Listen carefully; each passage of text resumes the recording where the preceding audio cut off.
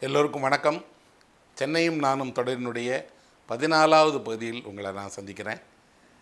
இதுக்கு முந்தைய பகுதிகளில் சென்னையில் இருந்த என்னுடைய வாழ்க்கை அனுபவங்களில் பல்வேறு பக்கங்களை சொல்லியிருக்கேன். இந்த முறை நான் பகிர்ந்து தரப்போகிற விஷயம் என்பது சுவாரஸ்யமானது. எதை பற்றியது?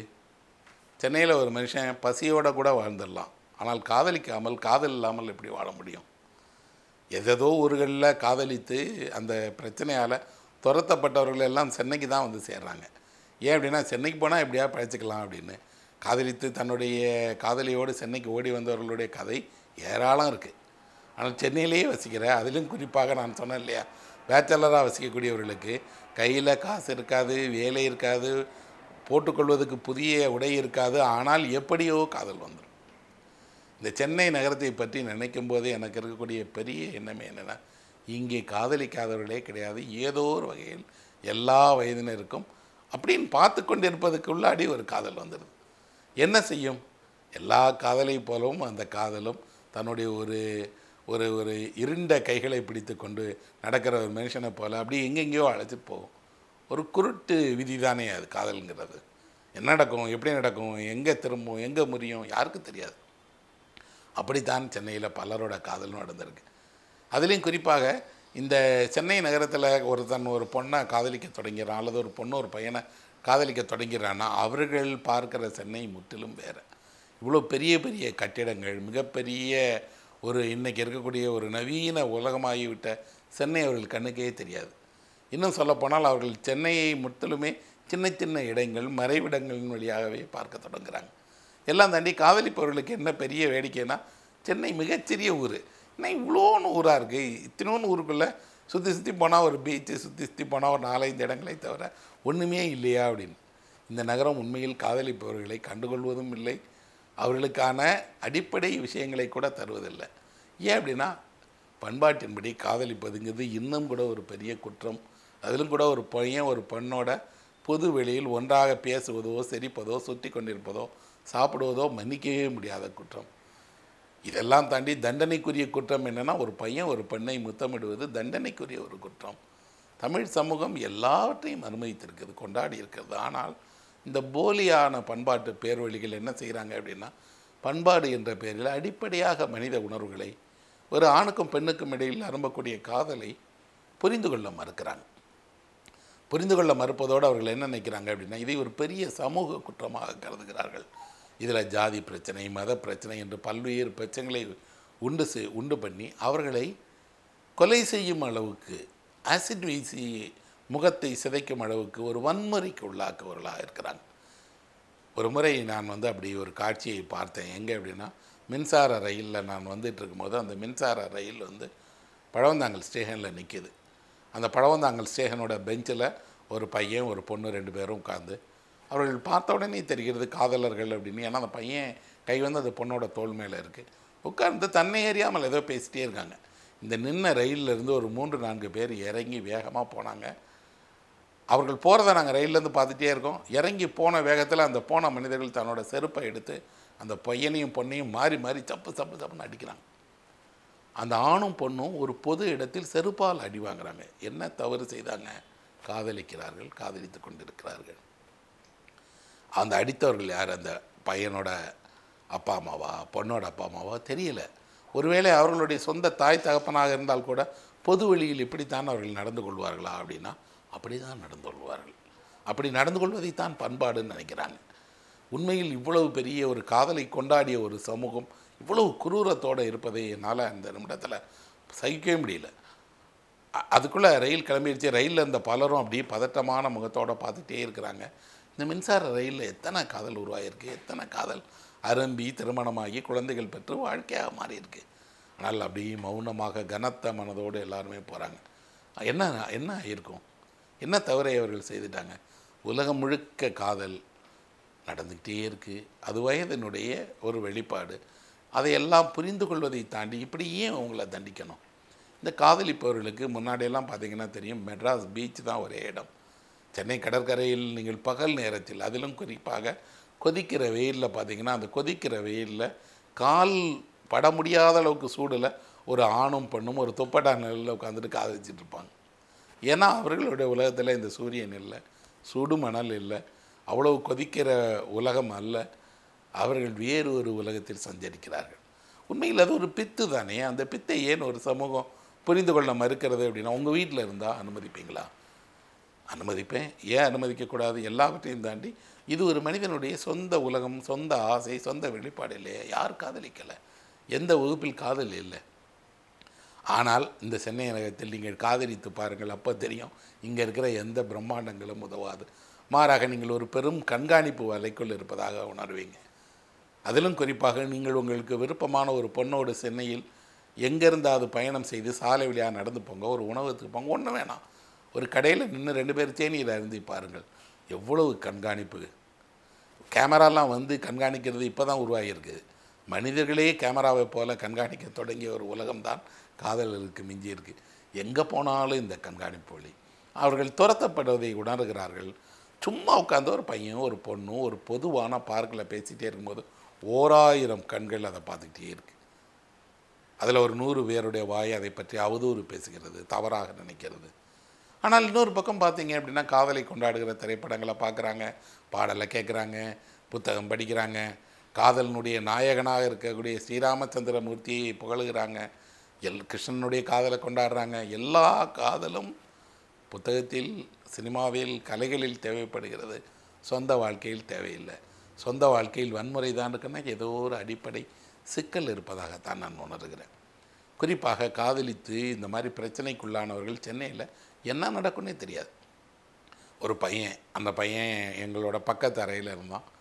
நாங்கள் எல்லோருமே வந்து ஒரு முறை என்ன செய்தோம் அப்படின்னா இங்கேருந்து பைக்கிலேயே கிளம்பி எல்லோரும் நண்பர்களுமாக பெங்களூருக்கு போகலாம் அப்படின்னு நாங்கள் எல்லாரும் பைக்கிலேயே கிளம்பி பெங்களூர் பெங்களூருக்கு திட்டமிட்டோம். கிளம்பி போகும்போது அந்த பையனை அழைச்சோம். அவன் சொன்னான் இல்லை இல்லை நான் வரல. எனக்கு ஒரு முக்கியமான வேலை இருக்குது அப்படின்னா. சரி ஏதோ அவனோட சொந்த பணி போல் இருக்கேன்னு நாங்கள் சனிங்காக இருக்குது இங்கேருந்து பைக்கில் கிளம்பி பெங்களூர் போயிட்டு திங்கக்கிழமை திரும்பி வந்தால் அந்த பையன் அறையில் இல்லை. என்னடா ஆச்சுன்னு கேட்டால் அந்த பையனே அந்த ஒரு நாளைக்குள்ளாடி அந்த பையனை அந்த நாங்கள் எந்த அறை குடியிருந்தோமோ அதுக்கு பக்கத்து வீட்டில் இருக்கக்கூடிய ஒரு பொண்ணுக்கு திருமணம் செய்து வச்சுட்டாங்க. திருமணம் நடந்துருச்சு கல்யாணம் முடிஞ்சு அந்த பையனும் பொண்ணும் அவங்க கிளம்பி வெளியூர் போயிட்டாங்கன்னு சொல்கிறாங்க புரியவே இல்லை எப்படி அது ஒரு நாளில் நடந்துச்சுன்னு கேட்டால் அந்த பொண்ணு அவனுக்கு தெரியும் அந்த பொண்ணோடு பேசியிருக்கிறான் அந்த பொண்ணிடம் சின்ன சின்ன உதவிகள் பெற்றிருக்கிறான். ஆனால் திடீரென்று அந்த பொண்ணும் அந்த பெண்ணுடைய குடும்பமும் அந்த பையனை அந்த பொண்ணுக்கு திருமணம் செய்யலான்னு முடிவு செய்திருக்குது ஏதோ வாக்குவாதம் நடந்திருக்கு ஒரு நாளில் கட்டாயப்படுத்தி திருமணம் செஞ்சுட்டாங்க. திருமணம் முடிந்து அவர்கள் ரெண்டு பேருமே வேறு ஊருக்கு போயிட்டாங்க. அவனை பார்க்கவே இல்லை. பல ஆண்டுகளுக்கு அப்புறம் ஒரு நாள் தற்செயலாக பானி பஜாரில் போகும்போது அவன் என் பேரை சொல்லி கூப்பிட்றான். பார்த்தா ஒரு அவனோட தோற்றமே மாறியிருக்கு அவனோட மனைவியினுடைய தோற்றமும் மாறி இருக்குது ரெண்டு பிள்ளைங்களோட அவங்க நிற்கிறாங்க கல்யாணம் தான் கட்டாயம் அடைஞ்சு ஆனால் அதுக்கப்புறம் அது இணக்கமாயிருச்சு. ஏன்னா உள்ளுக்குள்ளே நாங்கள் காதலிச்சுக்கிட்டே தான் இருந்தோம். பயந்துகிட்டு இருந்தோம். அது வேறொரு பக்கமாக வெடித்து வேறொரு பக்கமாக மாறி தானாக திருமணம் ஆயிடுச்சு இது ஒரு பக்கம். இன்னொரு பையன் ஒரு பொண்ணை காதலித்தான் அந்த பொண்ணோட வீட்டில் போய் திருமணத்திற்காக பேச வேண்டும் என்று சொன்னான். நானும் நாலு நண்பர்களும் அதுக்கான தூதுவர்களாக போனோம்.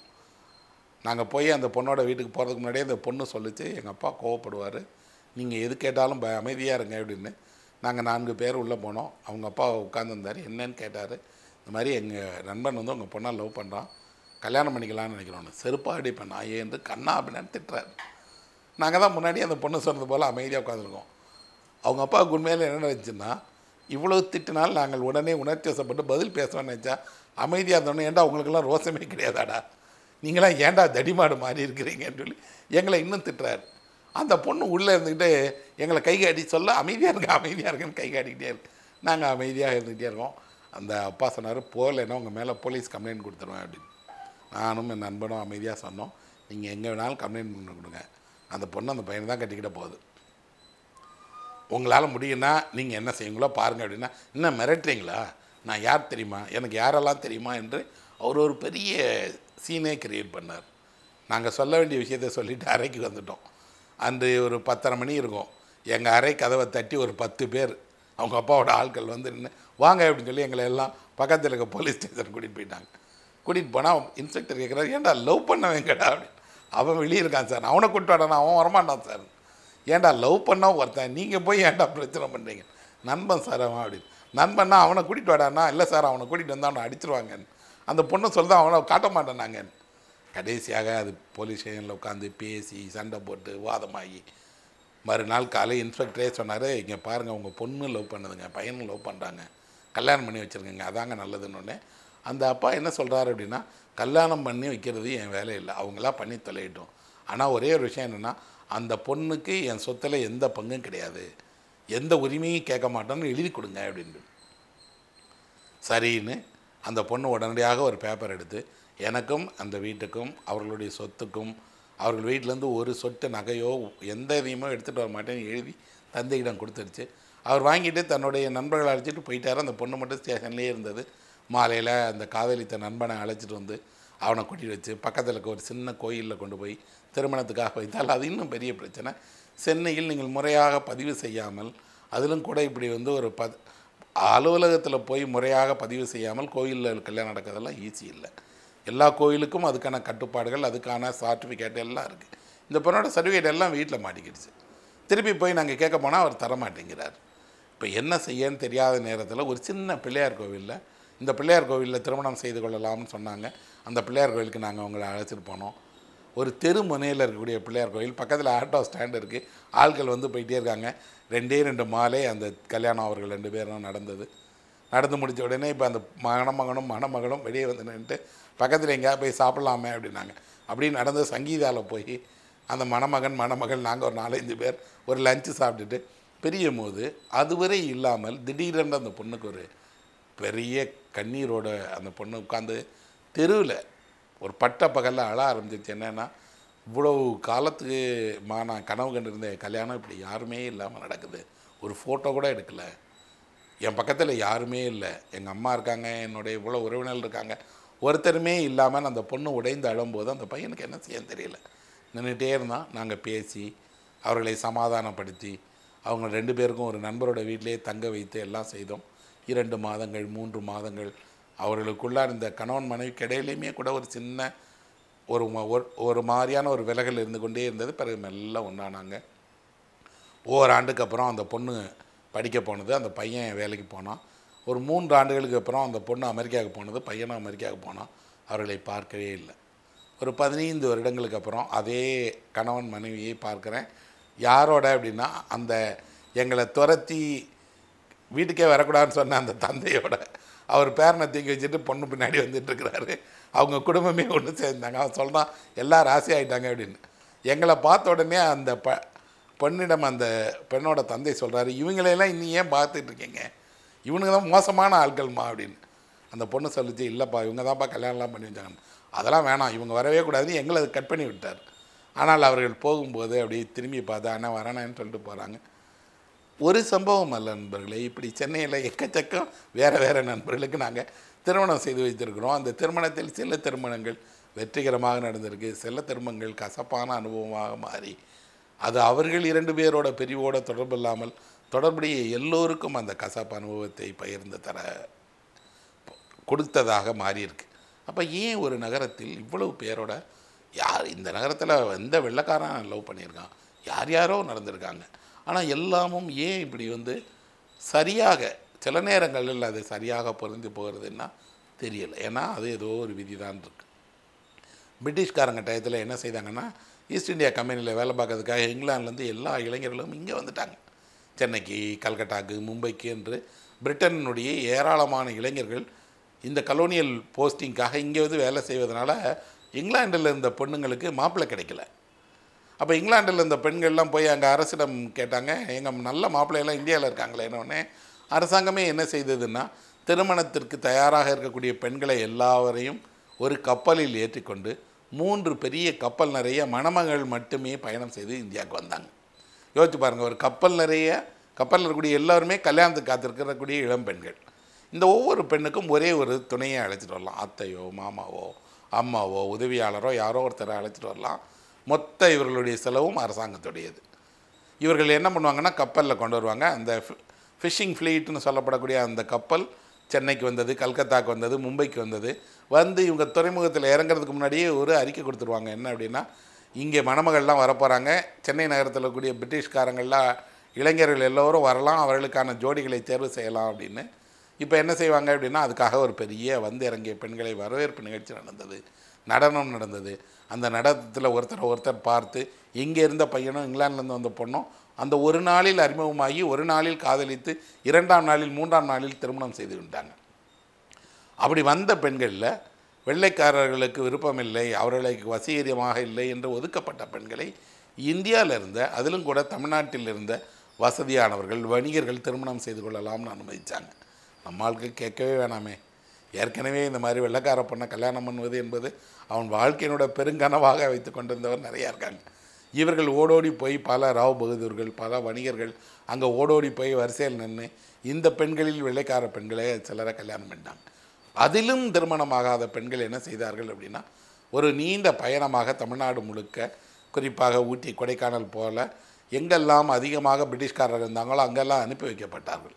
அவங்க எஸ்டேட் ஓனரை அல்லது அங்கே இருக்கக்கூடிய யாரோ ஒரு வெள்ளைக்காரனை திருமணம் செய்து கொண்டு இருந்தாங்க. இந்த திருமணம் எப்படிப்பட்டதுன்னா அவர்கள் இங்கே வருவாங்க கல்யாணம் பண்ணிக்கிடுவாங்க ஒரு எட்டு மாதம் இருப்பாங்க. அதுக்குள்ளே அந்த பெண் கர்ப்பணமாக கர்ப்பியம் கர்ப்பிணி ஆகிடுவா அவளை திருப்ப இங்கிலாந்துக்கு அழைச்சிட்டு போயிடுவாங்க. இங்கிலாண்டில் தான் பிரசவம் நடக்கும். இங்கிலாண்டில் தான் இனி வாழ்க்கை போகிறா இருப்பா. இவன் தேவைப்பட்டால் அங்கே போய்க்கலாம். அதற்கான செலவையும் பிரிட்டிஷ் அரசாங்கமே செய்யும். இப்படி எதுவுமே நடக்கவே இல்லை. திருமணமே ஆகவே இல்லைன்னா என்ன பண்ணுவாங்கன்னா அந்த பொண்ணு திரும்ப இங்கேருந்து இங்கிலாந்துக்கு போகணுன்னா அவ செலவில் தான் போக முடியும். அப்போ அதற்கு பயந்து என்ன செய்திருக்காங்கன்னா யார் யாரையோ அந்த பெண்கள் திருமணம் செய்திருக்காங்க. வந்த பெண்களில் பெரிய பிரபு வீட்டு பெண்ணும் இருந்திருக்கிறா அனாதை காப்பகத்தில் வளர்க்கப்பட்ட பெண்ணும் இருந்திருக்கிறா அவர்கள் இந்தியா முழுக்க இப்படி வந்து திருமணத்திற்காக ஒரு பெரிய புதிய சந்தையை உருவாக்கியிருக்காங்க. இந்த வரலாறெல்லாம் கூட எழுதப்பட்டிருக்கிறது. யோசித்து பார்த்தால் இது ஒரு நல்ல சினிமாவுக்கான ஒரு கதை. ஒரு கப்பல் நிறைய பெண்கள் வராங்க. அதில் வரக்கூடிய ஒரு பெண்ணை யாரோ ஒரு உள்ளூர் இளைஞன் காதலிக்கிறான்ங்கிறது ஒரு திரைப்படத்தோட கதை. வரலாற்றின் நடுவில் அதுலேயும் சென்னை வரலாற்றில் பார்த்தீங்கன்னா இப்படி நிறைய காதல் கதைகள் இருக்குது ஒரு டைமில் சென்னையில் என்ன இருக்கும் அப்படின்னா வேப்பேரி போன்ற பகுதியில் எக்மோரை சுற்றி பகுதிகளில் சட்டைக்காரிகள்னு சொல்லப்படக்கூடிய ஆங்கிலோ இந்தியன்ஸ் நிறைய இருந்தார்கள். இப்போ இல்லை ஒரு காலத்தில் நிறையவே இருந்தாங்க. அவர்களுடைய வீடுகளில் பார்த்தீங்கன்னா நல்ல கிதார் வாசிக்கிற பாட்டு பாட தெரிஞ்ச நடனம் ஆட தெரிந்த நிறைய பேர் இருந்தாங்க.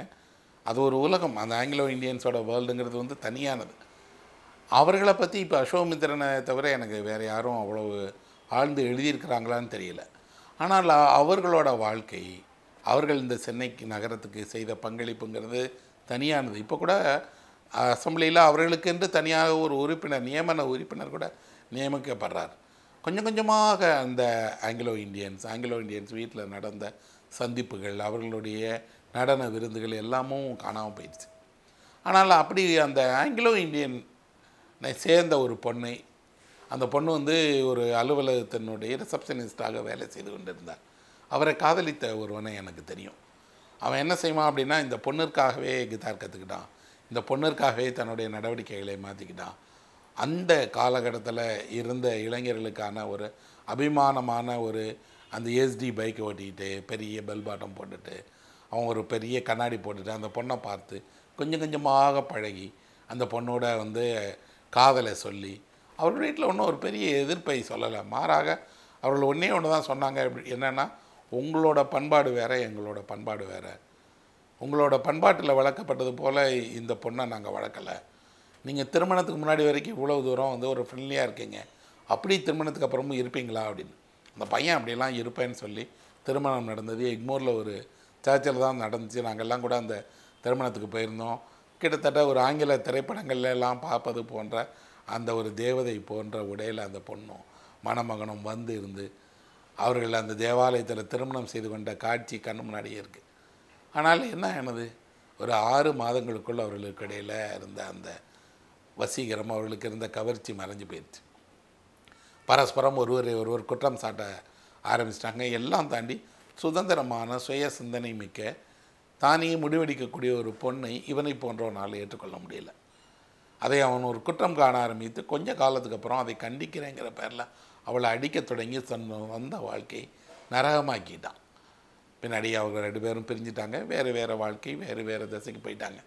ஆனால் அந்த தேவாலயத்தை கடந்து போனால் இன்னும் கூட அந்த காலை அந்த ஒரு ஞாயிற்றுக்கிழமையினுடைய காலையில் அவர்கள் இருவருக்கும் திருமணம் நடக்கும்போது நண்பர்கள் படை சூழ போன அந்த அனுபவமும் அந்த வாழ்க்கையும் நினைவில் இருந்துக்கிட்டே தானே இருக்குது இப்படி காதல் இந்த நகரத்தினுடைய பலவேறு இடங்களில் பலவேறு மனிதர்களை வாழ்வினுடைய மேலும் கீழுமாக ஒரு இறகு பந்து ஆட்டத்தில் அந்த பந்து மேலும் அங்கும் இங்கும் பகிட்டே இருக்கிறது போல அவர்களை இடமாற்றி கொண்டே இருந்திருக்கிறது. பெரும்பாலும் இந்த மாதிரியான காதல் காதல் வயப்பட்ட ஆண்களின் வழியாகத்தான் முன்னெடுக்கப்படுதுன்னா அது மட்டுமல்ல. நேரடியாக தன் மனதினுடைய ஆசைகளை மனதினுடைய கனவுகளை தன்னுடைய விருப்பத்தை வெளிப்படுத்துகிற பெண்களும் இந்த ஊரில் இருக்கிறாங்க. அவர்களுக்கு பயம் இல்லை பயப்படணும்னு அவசியமும் இல்லை.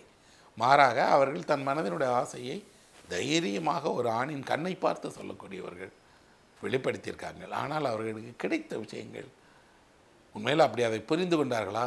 அதை அவள் காதலித்தான் புரிந்து கொண்டானா அப்படின்னா அபூர்வமாகத்தான் புரிந்து கொண்டார். நாங்கள் வசித்த ஒரு பகுதிக்கு பக்கத்தில் ஒரு பேக்கரி இருந்தது. அந்த பேக்கரியில் ஒரு பொண்ணு வேலை பார்த்துட்டு இருந்தான் அந்த பொண்ணு அந்த பொண்ணுக்கு ஒரு சின்ன தாழ்வு உணர்ச்சி இருந்தது. என்ன அப்படின்னா அதுக்கு பல் வந்து கொஞ்சம் நீளமான பல்.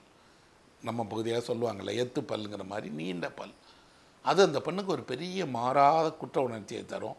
இவ்வளவுக்கும் அவ்வளவு அழகான ரொம்ப ஒரு ஒரு வசீகரமான முகம் கொண்ட பொண்ணு. ஆனால் இந்த பல் அப்படி இருக்கேங்கிறதுனாலேயே அந்த பொண்ணு என்ன செய்யும் அப்படின்னா எப்போவும் ஒரு கர்ச்சிப் வச்சு தன்னோட முகத்தில் உதட மறைச்சிக்கிட்டே இருக்கக்கூடிய பொண்ணாக இருக்கும். அந்த பொண்ணு பேக்கரியில் வர்ற பேக்கரிக்கு அடிக்கடி வந்து போகிற ஒரு பையனை பேசி பார்த்து பழகி திடீர்னு ஒரு நாள் காதலை சொன்னோடனே அவன் காதலை ஒத்துக்கிட்டான். அந்த பொண்ணை திருமணத்துக்கு திரைப்படத்துக்கெல்லாம் அழைச்சிட்டு போயிருக்கான். ஆனால் திடீரென்று ஒரு நாள் அவன் என்ன பண்ணிட்டான்னா உன உன் பல்ல பார்த்தியா கண்ணாடியில் எப்பயாவது போய் உன் பல்ல பாரு. இப்படி ஒரு பல்ல வச்சுட்டு என்னை போல் ஒருத்தனை ஏண்டி கட்டிக்கணும்னு நினைக்கிறேன்னு கோவத்தில் திட்டினான் அந்த பொண்ணு என்ன செய்தாள் அப்படின்னா அதுதான் அதிர்ச்சிகரமானது என்னென்னா இரும்பு படிக்கட்டு இல்லையா? அந்த படிக்கற்கள் அந்த இரும்பு படிக்கல்லை எடுத்து பல்லை உடைச்சிட்டான். உடைத்தால் என்னாச்சுன்னா பல் உடையலை ஆனால் முனை உட- சித்- உடைஞ்சி சிதறி கோரமான பல்லாகி உதடில் அந்த பல் பட்டு உதடு வெடித்து என்று மருத்துவமனையில் சேர்க்கப்பட்டு உண்மையிலே அந்த பொண்ணுனுடைய ஒரு ஒரு அந்த தோற்றத்தை பார்க்கும்போது மனது நடுங்குவதாக இருந்தது. ஆனால் அந்த பொண்ணு அப்படி ஆன பின்னாடி இன்னும் முக்கரத்தோடு இன்னும் வேகத்தோடு அதே பையனை திருமணம் செய்து கொள்ளே தீருவேன்னு சொல்லி அவன் அறைக்கு போய் அவனை அவன் மீது சண்டை போட்டு எப்படியாவது கட்டிக்கோன்னு சொல்லி கண்ணீர் விட்டு தெருவில் அவன் போகிற பைக்கு பின்னாடியே ஓடி என்று காதலினுடைய ஒரு பைத்திய நிலையை அடைந்தாளுங்கிறது தான் உண்மை. பின்னாடி இந்த சம்பவத்தை சின்ன சின்ன விஷயங்கள் மாற்றி நான் கழுமரம் அப்படிங்கிற பேரில் ஒரு சிறுகதையாக எழுதியிருக்கேன். ஆனால் அதில் வரக்கூடிய அந்த பொண்ணை போல் நிஜ வாழ்க்கையில் அந்த மாதிரியான ஒரு எளிய பெண்கள் இருந்திருக்காங்க. அந்த பொண்ணோட காதல் நிறைவேறல. துரத்தப்பட்டா நிராகரிக்கப்பட்டா என்னாச்சு தெரியாது. ஆனால் அந்த பெண் செய்த அந்த செயல் இருக்கு இல்லையா மறக்கவே முடியாது. காதலினுடைய அந்த உண்மத்தம் என்ன செய்யும் அப்படின்னா பெரிய இரும்பு கல்லை கொண்டு தன்னுடைய பல்லை உடைத்து கொண்டு ரத்தம் கொப்பளிக்க வைக்குங்கிறதான் அப்போ இதெல்லாம் நான் நியாயப்படுத்துகிறேனா? இப்படியெல்லாம் நடந்து கொள்வதை நியாயப்படுத்துவதுதான் ஒரு எழுத்தாளனுடைய வேலையா என்றால் இல்லை நண்பர்களே புரிந்து கொள்வது இது காதலினுடைய உண்மத்தம்தான் என்று உணர்வது. எல்லாம் தாண்டி இது உங்களுடைய வயதினுடைய பிரச்சனை. எல்லா பதினேழு பதினெட்டு வயதில் இருக்கக்கூடிய இளைஞனுக்கும் ஆணாக இருந்தால் பெண்ணை நோக்கியும் பெண்ணாக இருந்தால் ஆணை நோக்கியும் ஈர்ப்பு வரும். அது எல்லாமும் ஒரு உன்னதமான காதல் தானா என்று சொல்ல முடியாது. இன்னொன்று உன்னதமான காதல் எது என்று யார் தீர்மானிப்பது? மாறாக அவர்கள் ஒருவர் ஒருவர் பார்க்கவும் பேசவும் பழகவும். இன்னும் சொல்லப்போனால் அவர்களுக்கு இடையில் ஏதோ ஒரு மர்ம வெளி இருப்பது போலவும் தான் நடந்து கொள்வாங்க. மெல்ல அது அவிழத் தொடங்கும் மறையத் தொடங்கும். கொஞ்சம் கொஞ்சமாக அவர்கள் இணையத் தொடங்கும் போது ஒருமிக்கத் தொடங்கும் போது காதல் அவர்களை பற்றி கொண்ட பிறகு அவர்களுக்குள் ஒரு புதிய மாற்றம் உருவாகும். யோசிச்சு பாருங்கள் திரையரங்குகளில் பாருங்கள் எல்லா திரையரங்குகளிலும் இன்னும் கூட ஏதோ ஒரு காதல் ஜோடி. திரைப்படத்தை விடவும் சொந்த வாழ்வினுடைய அந்த சின்ன கிசுகிசுப்புகளை முதன்மையாக கொண்டு பேசிட்டு சிரிச்சுக்கிட்டு போயிட்டே இருக்காங்க தானே. யாரோ யாருக்கோ பரிசு வாங்கி கொடுத்துட்ருக்காங்க. அதுலேயும் கூட இப்போ இப்போ சமீபமான ஆண்டுகள்லாம் பார்த்திங்கன்னா பார்த்தீங்கன்னா பிப்ரவரி பதினாலு அன்று சென்னையினுடைய நிறமே மாறிடுது. சென்னையினுடைய எங்கே பார்த்தாலும் காதலர்கள் காதலை வெளிப்படையாக பேசிகிட்டு இருக்காங்க மாறிக்கொண்டே இருக்கிறது சென்னைன்னு தெரியும். இதே சென்னைகள் தான் ஐம்பது அறுபது வருடங்களுக்கு முன்பாக பெண் பெண்களுக்கு வைத்தியம் செய்து கொள்வதற்கு முறையான பெண் மருத்துவர் கூட இல்லாத ஒரு காலம் இருந்தது. நூறு வருஷத்துக்கு முன்னாடின்னு வச்சுக்கலாம். பெண் மருத்துவர் கூட கிடையாது. பிரசவம் பார்ப்பதுக்கு என்றால் கூட ஒரு பெண்ணுக்கு மருத்துவம் பார்ப்பதற்கு வசதி கிடையாது. பெண்கள் எல்லா துறையிலும் வந்து கல்விக்கு அனுமதிக்கப்படலை பதவிகளுக்கு அனுமதிக்கப்படலை பொது வெளியில் அனுமதிக்கப்படலை. இன்னும் சொல்லப்போனால் அரசியலுக்குள் ஒருபோதும் அனுமதிக்கவே படலை இதை தாண்டித்தான் அவர்கள் வந்தார்கள். அவர்கள் வாழ்வினுடைய இன்று இருக்கக்கூடிய பல்வேறு உயர்நிலையை அடைஞ்சிருக்கிறாங்க காதல் என்ன செய்யும் அப்படின்னா இது அவர்களை இன்னொரு மனிதனை இன்னொரு உயிரை புரிந்து கொள்ள வைக்கும். அப்போ இலக்கியம் பலவேறு நேரங்களில் காதலுற்ற மனிதனுடைய தவிப்பை பெரிவை வருத்தத்தை கவலையை சொல்லுகிறது. இன்றைக்கு ஒரு புதிய தலைமுறை வந்திருக்கு. இந்த தலைமுறை எப்படி இருக்குது அப்படின்னா காதலை அவ்வளவு தீவிரமாக எடுத்துக்கிறதில்லை விளையாட்டாக எடுத்துக்கொள்கிறார்கள். ஆனால் பிரிவை தீவிரமாக எடுத்துக்கொள்கிறார்கள். ஒருவருக்கு ஒருவர் ஏற்படக்கூடிய சின்ன சின்ன உரசலை தீவிரமாக எடுத்துக்கொள்கிறார்கள். ஒரு பையனோ ஒரு பொண்ணோ காதலிப்பதற்கு முன்பு அதிகம் யோசிக்கலாம் ஆனால் காதலித்த பிறகு வரக்கூடிய நெருக்கடிகளை பற்றி நிறைய யோசிக்கிறாங்க. காதல் அல்ல இப்போது எல்லோருக்கும் தெரிகிறது. இது ஒரு விதமான நீ தனிக்குள்ளே நீங்கள் நீந்திக்கிட்டே இருந்தீங்கன்னா அந்த நீந்துதலின் போது ஒரு சுவாரஸ்யம் இருக்குது அதே நேரத்தில் நீங்கள் நகர்ந்து போயிட்டே இருக்கீங்க. அப்படி ஏதோ ஒரு ம ஒரு சுவாரஸ்யமான விஷயமாக நினைக்கிறார்கள். ஆனால் அப்படி அல்ல. ஆணுக்கும் பொண்ணுக்கும் இடையில் ஏற்படக்கூடிய இந்த ஈர்ப்புங்கிறது பல நிலைகளை கடந்து செல்லும் தான். அப்படிங்கிறத தான் சென்னையில் நான் பார்த்துருக்குறேன். யார் யாருக்கோ நடந்த கதைகளை நிறைய கேள்விப்பட்டிருக்கிறேன். அப்படி இது என்ன சாத்தியமாகும்? யாரோ ஒரு மிகப்பெரிய மனிதனுடைய மகள் யாரோ ஒரு சாதாரண எளிய நிலையில் இருக்கக்கூடிய ஒரு மனிதனை காதலித்து திருமணம் செய்து கொள்வாள். அது இந்த நகரில் சாத்தியம். மதம் தாண்டி ஜாதி தாண்டி வித்தியாசங்களை தாண்டி வயது தாண்டி எல்லாவரையும் சென்னை நகரத்துக்குள் காதல் கொண்டு சேர்த்திருக்கு. ஆனால் ஒரு சிறு நகரத்தில் சிற்றூரில் கிராமத்தில் என்ன நடக்கும் அப்படின்னா இது மிகப்பெரிய பிரச்சனையாக முடிவு வந்துடும் வளர்ந்து வந்தனால் என்ன நடக்கும்னா பிரிக்கப்படுவார்கள் தண்டிக்கப்படுவார்கள். எம்டி வாசவன் நாயர் ஒரு கதை எழுதியிருக்கிறார். ஒரு பள்ளி ஆசிரியர் அந்த பள்ளி வாழ்க்கையின் போது பள்ளியில் வகுப்பறையில் படிக்கிற ஒரு பொண்ணை காதலிக்கிறார். ஆனால் ஒரு ஆசிரியர் மாணவியை காதலிப்பது குற்றம் அப்படின்னு சொல்லுவாங்களே அப்படிங்கிறதுனால அந்த பொண்ணு வீட்டில் எனக்கு திருமணம் பண்ணி தருவாங்களான்னு கேளுங்கன்னு சக ஆசிரியரை அனுப்பி வைக்கிறார். அந்த ஆசிரியர் கேட்டுட்டு வந்து சொல்கிறாரு இல்லைங்க உங்களுக்கு பொண்ணு தர மாட்டாங்க நீங்கள் வேறு காஸ்ட்டு தர முடியாதுன்னு சொல்லிட்டாங்கன்னு சொல்கிறார் இவர் அப்படியே விட்டுறாரு. பணி மாறி வேறு ஊருக்கு போயிடுறாரு. அந்த பொண்ணு வாழ்க்கையில் என்னன்னாலே தெரியலை. நீண்ட பல வருடங்களுக்கு அப்புறம் திடீர்னு ஒரு நாள் அந்த பொண்ணோட ஞாபகம் வந்து அவரோட பழைய முகவரிக்கு ஒரு கடிதம் அனுப்புகிறார் அந்த பொண்ணு அவரை பார்ப்பதற்காக ஒரு கோவிலுக்கு வரா. அங்கே வைத்து அவ அந்த பொண்ணு கேட்குறா மாஸ்டர் நீங்கள் என்ன லவ் பண்ணீங்களே மாஸ்டர்? ஏன் மாஸ்டர் அப்படி விட்டுட்டீங்கன்னு கேட்குறா அதுக்கு அவர் சொல்கிறார் இல்லையம்மா நான் தான் அந்த ஆசிரியர்கிட்ட சொல்லி உங்கள் வீட்டில் கேட்க சொன்னனே. நீங்கள் தானம்மா மறுத்துட்டீங்கன்னு சொல்கிறார் அதுக்கு அந்த பொண்ணு சொல்கிறா மாஸ்டர் அந்த பொண்ணு ஆசிரியர் எங்கள் வீட்டில் வந்து கேட்கவே இல்லை. கேட்காமலே அவர் வந்து தானாக போய் சொல்லிட்டார். இந்த ஆசிரியருக்கு தோன்றுகிறது காதலில் நேரடியாக ஒன்றை வெளிப்படுத்துவது. நேரடியாக அதன் முடிவை தெரிந்து கொள்வது தானே சரி. நாம் ஏன் யாரையோ நம்பணும்?